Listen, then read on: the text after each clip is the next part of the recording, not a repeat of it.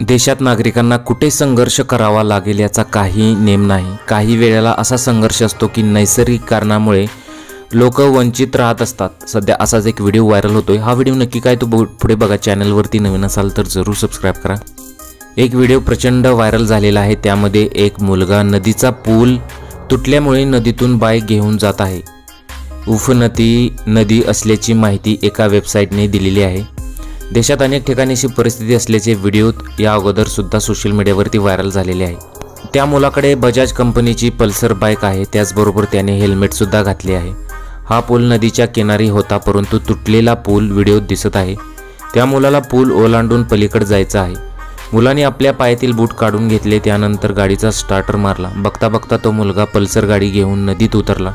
त्याचबरोबर पूल एका टोकापासून दुसऱ्या टोकापर्यंत पोहोचला.